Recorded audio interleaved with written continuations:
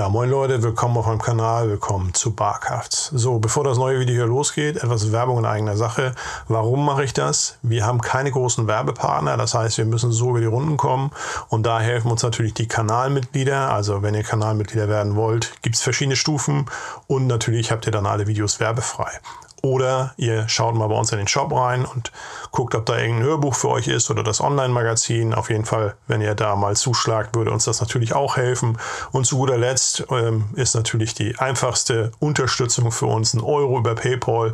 Das kommt in die Kriegskasse und schon können wir vernünftig weiterarbeiten und alle Rechnungen bezahlen. In diesem Sinne, vielen Dank für eure Unterstützung. Jetzt geht's los mit dem neuen Video.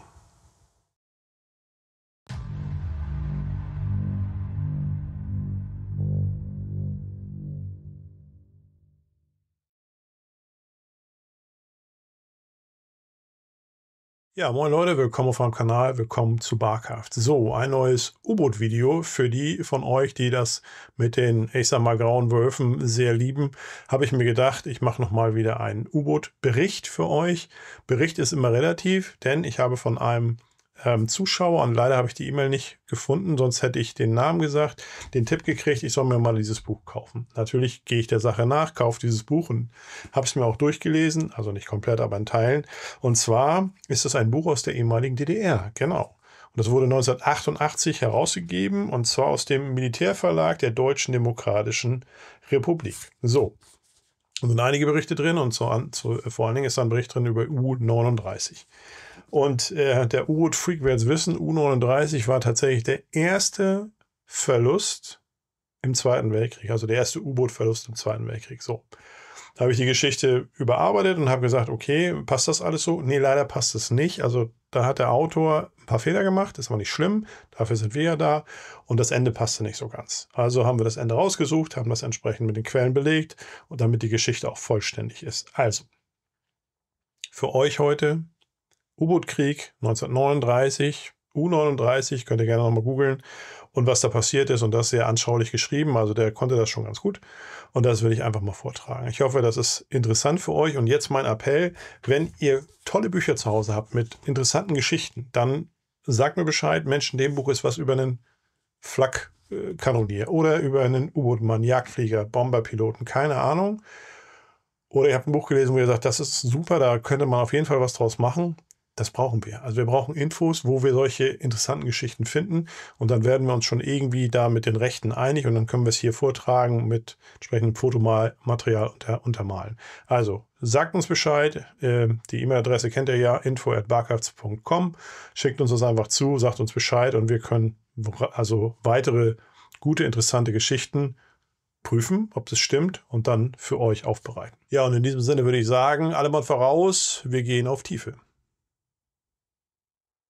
U-39 kreuzt etwa 100 Seemeilen westlich der Hebriden. Kapitänleutnant Glattes, der Kommandant, ist nicht zufrieden. Wie alle frontfähigen Boote ist auch U-39 bereits Ende August auf Fahrt geschickt worden, um bei Kriegsbeginn blitzartig über die englische Schifffahrt herzufallen und durch hohe Abschussquoten der britischen Admiralität einen Schock zu versetzen. Diese Absicht ist glattes, wie alle U-Boot-Kommandanten, verständlich. Die Briten sollen angesichts hoher Schiffsverluste aus dem Krieg ausscheiden und den Deutschen vorerst freie Hand lassen. Nach dem beendeten polnischen Feldzug würde man mit den Engländern schon unmissverständlich über eine Neuordnung der Welt sprechen. In der oberen Führung, ja sogar in der Seekriegsleitung, waren die Meinungen über den besten Einsatz der vorhandenen Kampfmittel geteilt. Die Mehrheit der einflussreichen Seekriegshistoriker bezweifelte die Wirksamkeit eines massierten U-Boot-Einsatzes. Für sie blieb das Schlachtschiff nach wie vor das Rückgrat der Hochseeflotte. Selbst den Kampfwert des Flugzeugträgers unterschätzten sie. Er war für sie nur ein Hilfsmittel im Seekrieg und zudem ein Sorgenkind, das ständig von einer Eskorte von Sicherungsfahrzeugen umgeben sein musste. Nicht nur in der deutschen Seekriegsleitung, auch in den Admiralstäben anderer Länder hielt man aufgrund moderner Abwehrmittel den U-Boot-Einsatz großen Stils für überholt. Der Führer der U-Boote, Dönitz, und jüngere Seekriegstheoretiker schworen jedoch auf die U-Boot-Waffe. Dönitz war im Ersten Weltkrieg als Wachoffizier auf U-39 gefahren, das von Kapitänleutnant Forstmann geführt wurde, der als einer der erfolgreichsten Kommandanten der kaiserlichen Marine galt.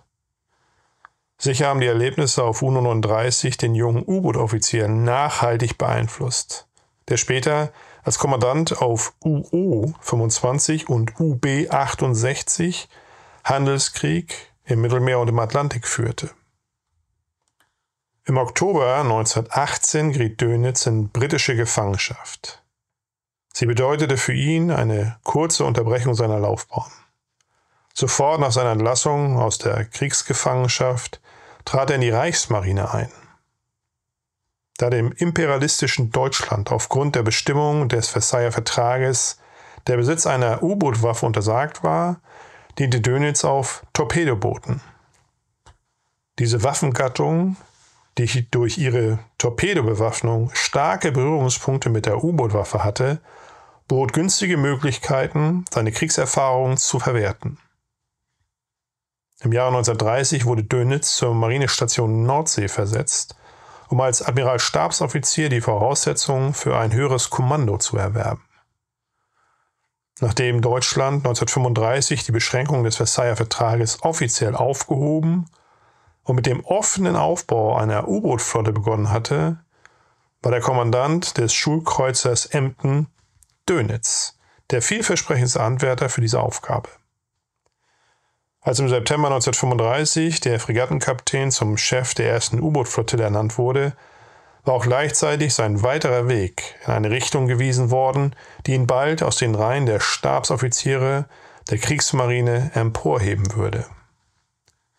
Von nun an war seine Tätigkeit mit der U-Boot-Waffe unlösbar verbunden und seine dabei erreichten Erfolge förderten seinen Aufstieg in der Machthierarchie des deutschen Imperialismus die Öffentlichkeit unbekannt geblieben waren indessen die Voraussetzungen, auf denen Dönitz und sein Stab aufbauen konnten. Zwar hatte der Handelskrieg der U-Boot im Ersten Weltkrieg trotz des versenkten Handelsschiffsraumes von 12,7 Millionen Bruttoregistertonnen Großbritannien nicht zu Zugeständnissen zwingen können, dennoch wollten die Deutschen auch in Zukunft nicht auf ein solches Kriegsinstrument verzichten. Nach dem Zweiten Weltkrieg werden die Verhandlungen gegen die Hauptkriegsverbrecher von dem Internationalen Militärgerichtshof in Nürnberg beweisen, dass die Aufstellung der U-Boot-Flotte von langer Hand vorbereitet war. Als Beweisstück der Anklage gegen Räder wird eine Studie des Admirals Assmann verlesen, in der es heißt, aber wenngleich und so weiter und so fort, auf fast allen Gebieten der Rüstung bei der Marine lange Zeit vor dem 16. März 1935 der Versailler Vertrag den Buchstaben und erst recht dem Geiste nach Übertreten mindestens eine Übertretung vorbereitet worden ist, so ist dies doch wohl an keiner Stelle einerseits so frühzeitig und andererseits unter so erschwerten Umständen geschehen wie beim Aufbau einer neuen U-Boot-Waffe. Der Versailler Vertrag war nur einige Monate in Kraft, also ab dem 1. Januar 1920, als er in diesem Punkt bereits übergangen wurde. Noch im Jahr 1920 hatte die Germania-Werft, die Vulkan-Werft, mit Zustimmung der Marineleitung die Konstruktionsunterlagen der Boote U-142 und U-117 an Japan verkauft. In Japan wurde nach diesen Unterlagen unter Aufsicht deutscher Konstrukteure U-Boote gebaut bei deren Erprobung auch ein früherer U-Boot-Offizier teilnahm, der so seine Kriegserfahrung ergänzen konnte. Etwa zur selben Zeit gründeten drei deutsche Werften unter dem Namen einer Deckfirma in den Niederlanden ein Konstruktionsbüro für U-Boote, in dem 30 deutsche Ingenieure und Konstrukteure beschäftigt waren. Nach den in den Niederlanden erarbeiteten Pläne wurden mit Unterstützung der Leitung der Reichsmarine 1925 für die Türkei ein 250-Tonnen-Boot gebaut. Etwas später vergab die Marineleitung Entwicklung und Bauaufträge für ein 750 und ein 100-Tonnen-Boot nach Finnland. Die Probefahrten dieser beiden U-Boote wurden bereits zur praktischen Ausbildung von See- und Ingenieuroffizieren der künftigen U-Boote genutzt. Weitere Entwicklungen und Bauaufträge wurden an schwedische und spanische Werften vergeben. Eine besonders große Rolle in dieser geheimen Aufrüstung spielte Spanien, zu dessen Militärdiktatur Primo de Rivera die deutschen Militaristen besonders enge Beziehungen hatten. Im Herbst 1927 beauftragte der Chef der Marineleitung Admiral Zenker die Marinekonstruktionsabteilung in der Werft von Echevarita in Cadiz ein U-Boot bauen zu lassen. Dieses Boot wurde 1931 fertiggestellt und seine Probefahrten fanden ausschließlich unter deutscher Leitung und mit deutschem Personal statt. Nach dem Sturz von Primo de Rivera ließ die innenpolitische Entwicklung Spaniens eine Niederlage der Reaktion möglich erscheinen und die Marineleitung organisierte einen Verkauf dieses U-Bootes an die Türkei, die es unter dem Namen Gür in ihre Kriegsmarine einreihte. Dieses U-Boot, das nach den Forderungen der Marineleitung gebaut worden war, war der Prototyp des 862 Tonnen Bootes 1A. Im Jahr 1930 war erneut ein Bauauftrag an eine finnische Werft vergeben worden. Dieses 250 Tonnen Boot wurde das Typboot für alle späteren U-Boote U1 bis U24, die in zwei Varianten gebaut wurden. Mit der Fertigstellung dieser beiden Typboote war das Stadium der Geheimerprobung abgeschlossen. Die geheime Aufstellung einer U-Boot-Waffe in Deutschland konnte beginnen. Im Jahr 1932 begann die Reichsmarine mit der illegalen Ausbildung von U-Boot-Besatzungen. Nach der Errichtung der faschistischen Diktatur wurde der Aufbau der U-Boot-Waffe beschleunigt vorangetrieben. Unter strengster Geheimhaltung wurden die Maschinen, Apparaturen und Zubehör für zwölf der 250 Tonnen Boote in Kiel eingelagert und Baukapazität für sechs weitere Boote dieses Types geschaffen. Auch die Teile für die späteren Boote U25 und U26 wurden geheim hergestellt und gelagert, sodass sie in neun Monaten zusammengebaut werden konnten. Am 15. Juni 1935, drei Tage vor dem Abschluss des deutsch-englischen Flottenabkommens, das dem faschistischen Deutschland auch den Aufbau einer U-Boot-Flotte einräumte, lief U1 offiziell vom Stapel und am 29. Juni wurden die ersten zwölf Unterseeboote in Dienst gestellt. Schon 1937 bestanden neben dem zuerst aufgestellten Schulverband drei U-Boot-Flottillen. In der Kriegsmarine war es bisher nicht üblich gewesen, dass Flottillen Namen trugen. Bei der Aufstellung der U-Boot-Waffe jedoch knüpfte man bewusst an die Tradition des Ersten Weltkrieges an. Den Flottillen wurden die Namen von Kommandanten verliehen, die sich während des Ersten Weltkrieges im rücksichtslosen und uneingeschränkten U-Boot-Einsatz hervorgetan hatten. Wedding, Salzwedel und Los. Wenig später kamen die Flottillen Emsmann, Hundius und Wegner hinzu. Die Namen waren Programm. Seit dieser Zeit hatte die U-Boot-Führung unter Leitung von Dönitz die Besatzung und ihre Kommandanten unermüdlich gedrillt, ihnen den siegverheißenden Geist der U-Boot-Fahrer des Weltkrieges 1914 bis 1918 stets als Vorbild hingestellt. Immer wieder war den Besatzungen vorgehalten worden, dass sie die Hoffnung eines künftigen Seekrieges wären, die Hoffnung eines deutschen Sieges zu Wasser. Zurück zu U39. Kapitänleutnant Glattes glaubte an eine kriegsentscheidende Wirkung seiner Waffe. Nur, er hat bisher lediglich einen Dampfer von kaum 5000 Bruttoregistertonnen nach kurzer Warnung entsprechend der Prisenordnung ohne viel Federlesen versenkt. Das Ergebnis scheint ihm reichlich mager. Immerhin zeigt der Kalender bereits den 14. September. Ein stattliches Motorschiff musste er laufen lassen, da es eindeutig als ein französisches ausgemacht worden war. Ein Befehl aber lautete, keine französischen Schiffe angreifen, auch keine Kriegsfahrzeuge. Anfangs konnte er das nicht begreifen, Man befand sich doch im Kriegszustand mit Frankreich. Aber eine kurze Funkerläuterung des FDU an alle Kommandanten ließ ihn schnell zur Einsicht kommen. Der französischen Kriegsmarine sollte der erste Schuss überlassen werden. Ganz klar, denkt Glattes, der Franzmann tummelt sich vor dem Westwall und weiß noch nicht, ob er angreifen soll oder nicht. Eigentlich ein komischer Krieg. Aber warum einen Zwei-Fronten-Krieg führen? Es gilt, mit den Polen fertig zu werden, dann kann man weitersehen.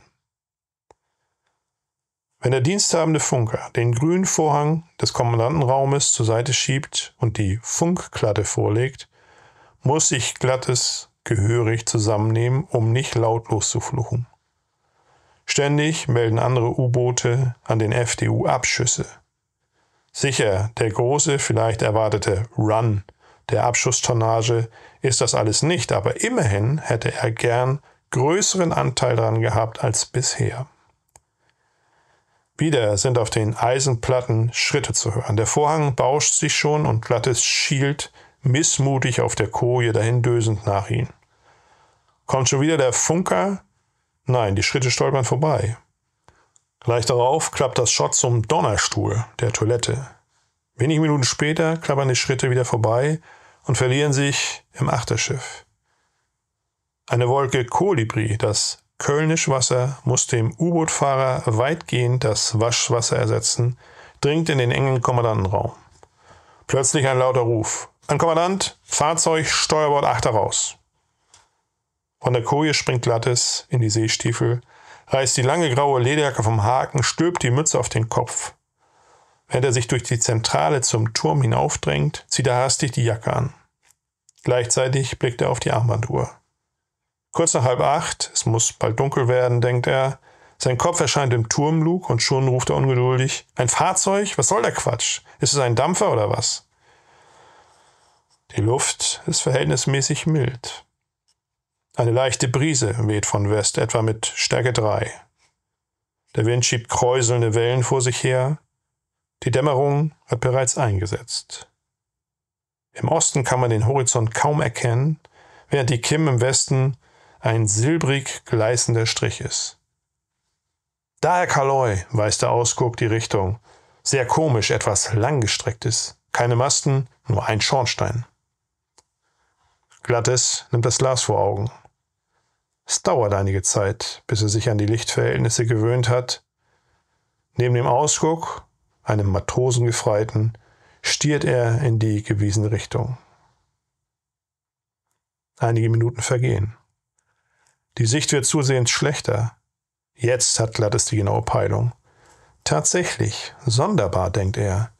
Sieht aus wie ein Tanker, meint er schließlich. Keine Aufbauten, nur der Schornstein, genau in der Mitte. Gibt der Matrosengefreite zu bedenken. Angespannt starren alle, auch der 1WO, der die Wache leitet, nach dem merkwürdigen Schiff. Der kommt auf, Herr Kaloy. Der Abstand verringert sich, sagt jetzt der Gefreite. Als sei er sich seine Sache nicht ganz sicher, fügt er noch hinzu, ich kann mich auch täuschen, er steht genau im Dämmerschatten. Glattes achtet überhaupt nicht auf diese Worte. Unentwegt starrt er, die Unterarme auf die Brückenverschanzung gelegt, mit dem Glas vor den Augen über das Wasser. Dann gibt es keinen Zweifel mehr. Vor ihnen schwimmt ein Flugzeugträger. Glattes lässt das Boot zunächst so weit wegtauchen, dass nur der Turm aus dem Wasser ragt. Hin und wieder gibt es Kurskorrekturen. Der Flugzeugträger schiebt sich von Achtern mit ziemlicher Fahrt heran. Der gewaltige Schiffsleib ist jetzt deutlich zu erkennen. Was der Ausguck für einen Schornstein hielt, ist der große Kommandoturm mitschiffs. Glattes schätzt die Entfernung auf etwa 50, 100. Inzwischen ist es fast dunkel geworden. Nur im Westen glüht noch ein silberner Fleck auf dem Wasser. Alarm, befiehlt Glattes. Das Boot taucht völlig weg. Wenig später wird das Zero ausgefahren. Immer wenn das Boot auf Tiefe geht, werden die Gesichter der Besatzungsmitglieder ernst. Das war schon bei den Tauchübungen in Friedenszeiten so. Das beklemmende Gefühl, in einer Stahlröhre zusammengefercht zu sein und einige Dutzend Meter Meerwasser über sich zu wissen, prägt sich in den Gesichtszügen aus. Jetzt, da sich das Boot auf Kriegsfahrt befindet, scheint dieses Wagnis ins Überdimensionale gesteigert zu sein. Niemand kann sagen, ob man das Tageslicht wieder zu sehen bekommt oder ob nicht eine Wasserbombe den daumendicken Stahlmantel zerfetzt. Keiner will seine Gefühle zeigen und jeder kann sie doch von dem anderen Gesicht ablesen. So wird der Umgangston, hinter dem sich jeder verbirgt, mehr und mehr in rauen Metaphern geführt, ganz gleich, ob es sich um Befehle oder Unterhaltung handelt, ob geflüstert oder gebrüllt wird. Kommt, kommt ihr Säcke, macht ran, Kameraden, treibt der E-Maschinist die Maschinengasten beim Anlassen der E-Maschine an. Ich scheiß was drauf, brubbelt ein Maschinengefreiter beim hastigen Antieren. Die Kameraden sind vor Ibiza gefallen. Die Kameraden sind vor Ibiza gefallen war eines der geflügelten Worte in der Kriegsmarine. Immer wieder beschworen die Vorgesetzten die toten Kameraden des Panzerschiffes Deutschland. Sie waren vor der spanischen Küste durch einen Bombentreffer republikanischer Flieger ums Leben gekommen, als sich das Panzerschiff an der heimtückischen Blockade der sogenannten neutralen Mächte gegen das republikanische Spanien beteiligte und unmittelbar vor der von Franco-Putschisten besetzten Insel Ibiza ankerten. Die Deutschen hatten das als Anlass genommen, in barbarischer Weise die wehrlose Stadt Almeria zu beschießen. Ständig hatte damals ein Flottenverband der Kriegsmarine, dem auch U-Boote angehörten, in spanischen Hoheitsgewässern gekreuzt. Mensch, ein Flugzeugträger, einer der modernsten, den die Tommys haben. Jedes Wort des Kommandanten wird von Mund zu Mund durchs Boot geflüstert. Die Begeisterung der Mannschaft soll angestachelt werden. Glattes gibt die Schießwerte an, korrigiert immer wieder. Der Torpedooffizier, der 1WO, steht am Rechengerät. Noch weiter ran, ein paar Umdrehungen mehr, befiehlt Glattes. Die Fahrt wird um einige Umdrehungen erhöht. Ein Glück, dass der Kasten so groß und klarer Sternhimmel ist, sonst würde ich ihn ja glatt verlieren. Jawohl, Herr Kaloy, sagt der Torpedooffizier. Seine Kehle ist ganz rau auf einmal. Wir schießen vier Aale. Glattes gibt die Abschussdifferenzen an. Er lieh nach dem Abfeuern alles, was Beine hat, nötigenfalls in den Bugraum. Wir gehen sofort auf Tiefe. Jawohl, Herr Kaloy. Rohr 1 bis 4 klar. Kurz darauf kommt die Rückmeldung. Langsam lässt Glattes das Ziel in den Visierfaden einwandern. Jeder in der Zentrale hält den Atem an. Rohr 1 los, Rohr 2 los. So, Freunde, jetzt wo es spannend wird, muss ich leider unterbrechen. Das Buch, was ich als Quelle benutzt habe, geht hier in eine völlig falsche Richtung. Hier wird erläutert, dass es sich um zwei Torpedos handeln sollte, die direkt bei Ausstoß explodiert sind und das Boot beschädigt haben und somit musste das Boot aufgegeben werden und die Besatzung das Boot verlassen. Das stimmt so nicht. So, was ist also wirklich passiert? Die zwei auf den Flugzeugträger abgeschossenen Torpedos aus einer Entfernung von ja, knapp 800 Meter detonierten aufgrund eines technischen Fehlers, wir beziehen uns hier auf die Torpedokrise, 80 Meter vor dem Ziel und nicht direkt am U-Boot. Nun hatte so ein Flugzeugträger natürlich Begleitschutz und es waren drei Zerstörer dabei. Das war einmal die Fire Drake, die Fox Sound und die Faulkner. Die haben das natürlich gesehen, das U-Boot entdeckt und griffen es mit Wasserbomben an. So, U-39 konnte daraufhin durch die erlittenen Beschädigungen nicht mehr auf Tiefe gehen, hatte schwere Wassereinbrüche und tatsächlich trat auch Chlorgas aus, musste dann später auftauchen und die 44 Mann Besatzung mussten das Boot verlassen. Das Boot sank natürlich, aber die Besatzung wurde vollzählig gerettet. 25 Mann wurden auf der Fox Sound, 11 auf der Faulkner und 8 wurden auf der Fire Drake aufgenommen. Die Männer wurden dann im Anschluss nach Schottland gebracht. Das waren also die ersten Angehörigen der deutschen Kriegsmarine, die im Zweiten Weltkrieg in britische Gefangenschaft gerieten und natürlich war U-39 somit auch der erste Verlust des Krieges.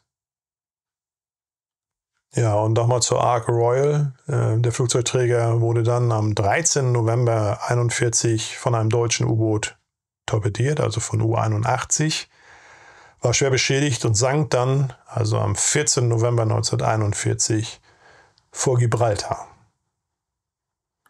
Ja, und zum Verbleib des Kapitänleutnant Glattes. Der war bis 1947 in britischer Kriegsgefangenschaft und zwar in Camp 17 Lodge Moor, Sheffield. So, und jetzt ganz abschließend nochmal zur Erklärung. Also, ich habe äh, aufgrund von einigen Hinweisen mir mehrere Bücher aus den Militärverlagen der Deutschen Demokratischen Republik besorgt. Und das Buch Der Tod auf allen Meeren, das habe ich mir mal durchgelesen und da sind einige Tatsachenberichte drin, die mit Vorsicht zu genießen sind. Das Buch erschien 1988 und so wie ich das sehe, sind die Darstellungen nicht alle hundertprozentig, aber wenn man das ein bisschen nachverfolgt, dann kann man das auch in die richtige Richtung biegen. Jo. Damit sind wir durch mit U39. Ich hoffe, das war interessant für die Nicht-Seebären unter euch. Danke für eure Aufmerksamkeit, bleibt gesund und auf bald.